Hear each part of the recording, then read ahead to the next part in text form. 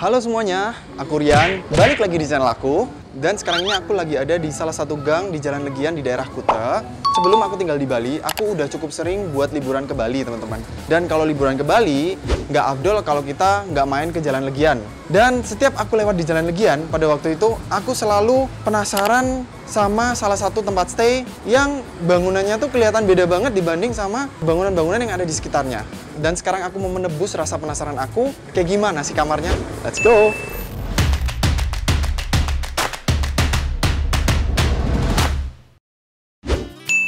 Dulu sebelum tinggal di Bali, dari kecil aku udah lumayan sering liburan ke Bali bareng keluarga. Dan setiap lewat jalan Legian, selalu penasaran sama tempat stay yang satu ini. Namanya Tanaya Bed and Breakfast. Gak tahu kenapa, kayak selalu menarik perhatian aku aja setiap lewat di depannya. Dan hari ini aku mau cobain untuk staycation di sini. Kayak gimana ya dalamnya? Check in dulu. Atas nama Rian. Rian. Seperti biasa, pas check-in kalian bakal diminta ID card dan isi form tamu. Habis itu kalian bakal dapat kunci kamar dan password wifi. Nah ini nih yang unik. Coba lihat kuncinya deh. Masih belum pakai kartu. Kuncinya masih manual. Mungkin karena hotel ini udah lumayan lama ya. Jadi baru aja aku udah selesai check-in dan sekarang aku mau dianterin uh, resepsionisnya buat langsung masuk ke dalam kamarnya. Yuk kita lihat yuk kamarnya kayak gimana.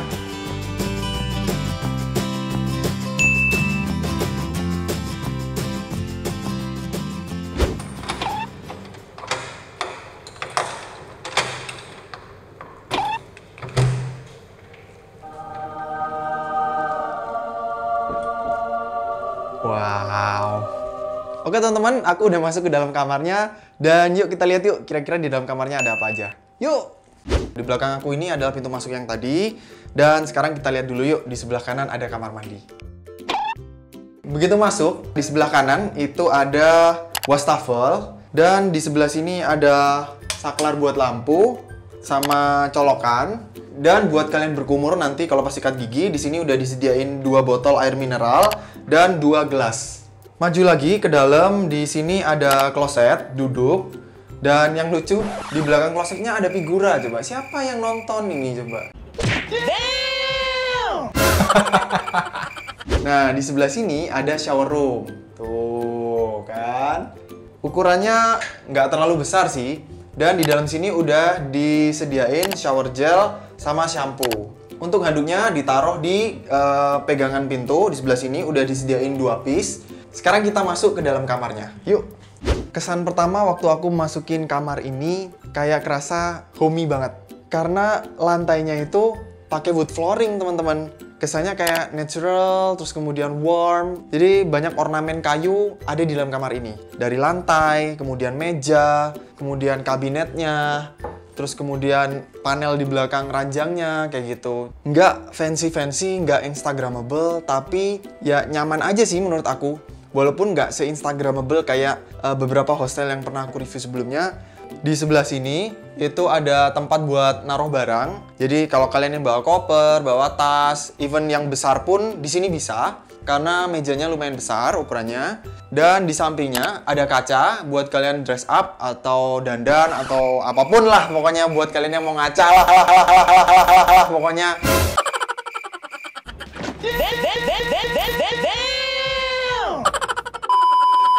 Di sini aku dapat kamar yang twin bed, jadi dua single bed. Di bednya ini ada satu bantal dan satu cushion kayak gini, mini cushion. Warnanya senada sama ornamen yang ada di bednya ini. Uh, tatanannya rapi, bersih, dan kasurnya juga cukup empuk. Di meja kecil di sebelahnya bed yang dekat pintu itu ada remote TV, remote AC, kemudian juga ada telepon. Dan di sini juga ada buku tentang fasilitas apa aja yang ada di Tanaya ini. Tentang laundrynya, terus kemudian ada diningnya juga. Di depan bed ada TV yang ukurannya lumayan besar. Dan karena di sini ada TV kabel, jadi channel-channel internasional kayak HBO, Fox, CNN, terus kemudian Disney dan segala macam lengkap banget di sini. Di belakang aku sini ada tiga jendela yang ukurannya cukup besar. Menurut aku sih, aku saranin buat kalian tutup karena di situ gang yang bisa dilewatin orang. Jadi untuk supaya kalian uh, nyaman waktu tidur, jadi kalian tutup aja. Di bawahnya tempat kalian naruh tas ini ada minibar atau kulkas ya teman-teman. Tuh. di sebelahnya lagi ini di dalam lemari yang tertutup ini ada brankas buat naruh AdSense. Kalian uh, yang AdSense-nya banyak, nah taruh sini nih, biar aman, nggak ditolong orang ya kan.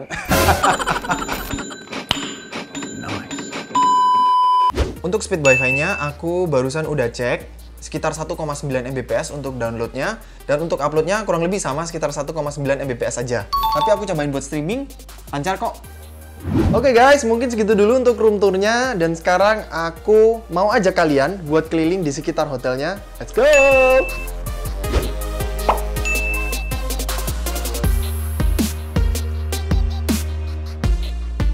Oh ya guys, kalau kalian keluar kamar, jangan lupa pintunya dikunci. Karena di sini pintunya itu bukan yang nutup otomatis, tapi masih pakai kunci manual kayak gini. Jadi jangan lupa buat dikunci, oke? Okay?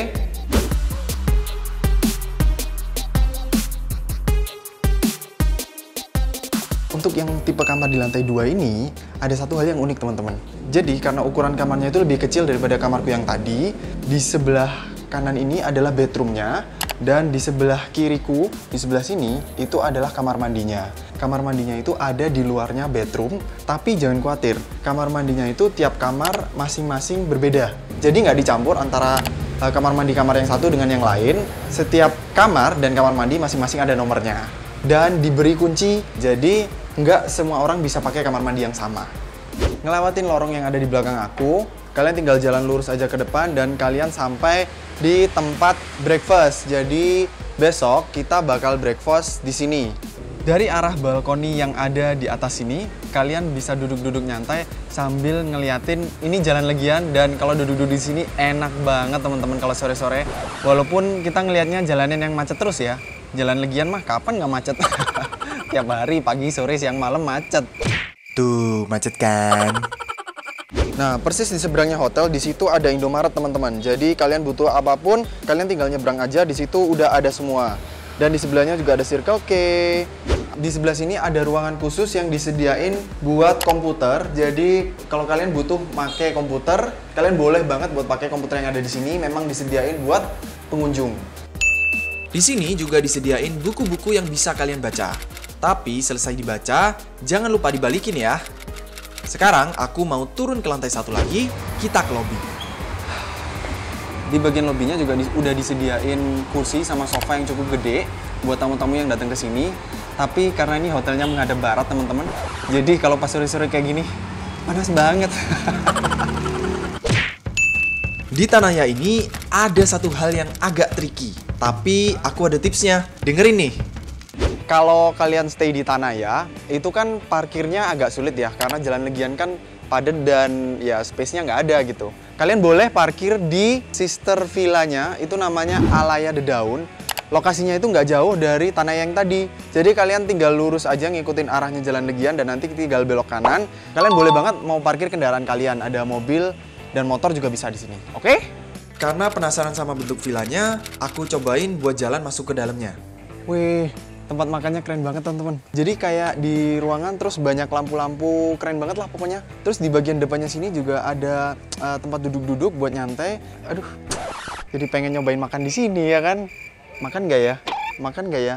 Uh, aduh ini udah sore aku mau time lapse dulu deh. Besok aja kita cobain makan di sini oke? Okay? besok ya besok ya kita makan di sini ya oke? okay?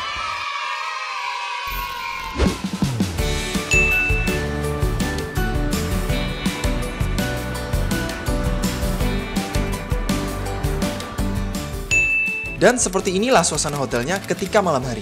Lampunya pada nyala jadi makin cakep kan? Tapi, by the way guys, aku baru sadar sesuatu. Ternyata kalian juga bisa reservasi hotel ini di website si A itu yang kemarin. A, A, yang itu, yang biru itu. Karena lokasi hotelnya ada di Jalan Legian, kalau malam gini paling enak jalan kaki menyusuri Jalan Legian yang makin malam makin rame.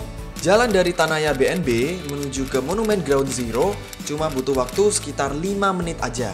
Sekarang ini aku lagi ada di Monumen Ground Zero dan buat kalian yang lama udah gak kembali kayak aku aja, aku nih baru tahu loh kalau ternyata Monumen Ground Zero itu sekarang uh, ada lampu-lampunya kayak gitu, jadi makin cakep ya kalau malam. Di sini adalah di persis di pusat keramaiannya Kute, pusat keramaiannya Jalan Legian juga teman-teman. Karena Jalan Legian udah so famous, kayaknya aku nggak perlu review dan jelasin lagi lah ya. Aku tutup vlognya hari ini sampai di sini dan kita langsung lanjutin vlognya besok pagi aja. Oke? Dadah. One eternity later.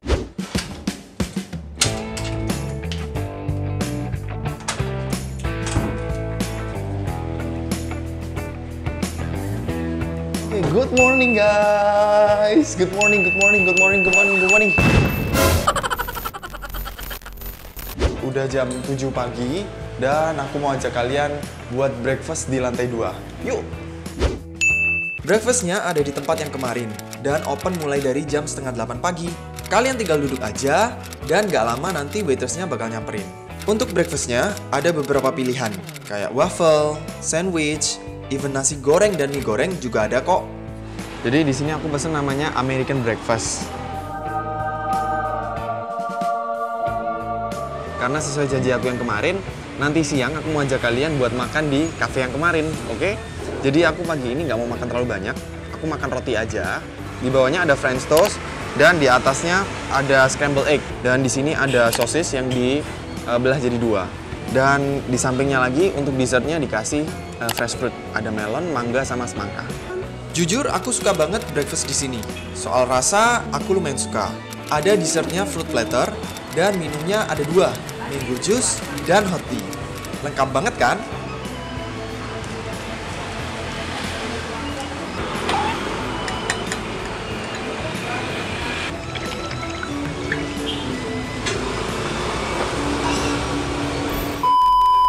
Ini nih mesti habis sarapan mesti langsung ke belet boker.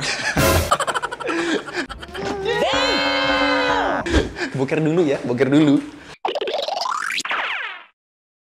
A few moments later. Lega.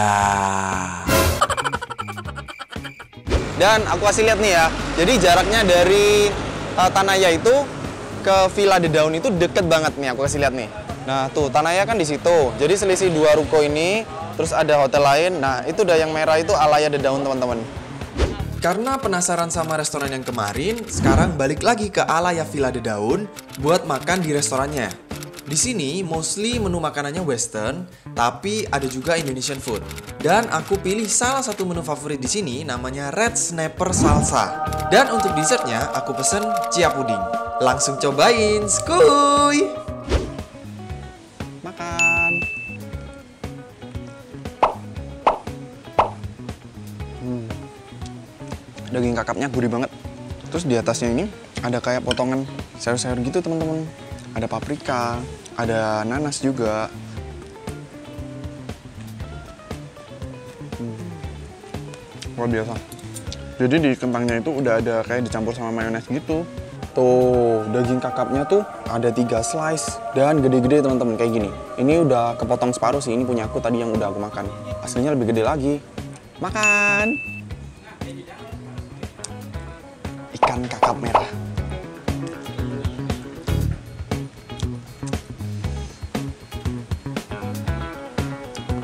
Sama brokolinya juga. Ini bagus buat jantung teman-teman. Jadi kalian harus suka makan brokoli. Ini bagus banget buat jantung. Habis deh. Sekarang kita cobain chia puding. Aku biasanya kalau makan yang gini-gini aku aduk dulu teman-teman. Aku mau cobain dari mangganya dulu yuk. Makan. Hmm. Ada shredded coconutnya juga. Jadi coconut yang diparut itu teman-teman. Apa sih kelapa yang diparut? Nah, seger banget deh siang-siang makan kayak gini. Makan. Aku udah selesai makan di The Daun restorannya. Aku suka banget sama makanannya. Enak banget tadi yang red snapper salsa. Dan chia pudingnya juga seger banget. Oke, overall aku suka banget sama eh, hotel budget yang tadi. Eh, kamarnya nyaman, harganya juga termasuk murah ya. Lokasinya sangat strategis banget.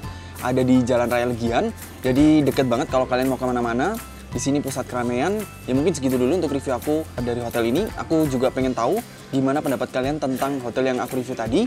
Mungkin di antara teman-teman juga banyak yang udah pernah stay di situ karena hotel itu adalah hotel yang lama. Jadi aku yakin di antara viewers aku pasti ada yang udah pernah stay di situ ya. Jangan lupa tinggalin di komen di bawah karena aku pasti baca komen kalian satu-satu. mungkin segitu dulu untuk video kali ini. Thank you banget buat kalian yang udah nonton video ini. Kalau kalian suka dengan video ini, jangan lupa klik jempol ke atas. Kalau kalian ada tempat makan, tempat stay, atau tempat jalan-jalan yang ingin aku review, tinggalkan komen di bawah. Dan kalau kalian masih ingin nonton video-video aku berikutnya, jangan lupa klik tombol subscribe. Subscribe guys, subscribe. jangan lupa nyalain juga lonceng notifikasinya supaya kalian dapat notifikasi ketika aku upload video baru. Follow juga Instagram aku di @abnormaltravel untuk dapetin update-update seru lainnya dari aku. Oke, that's it guys. Thank you so much for today and see you guys in the next video. Bye bye.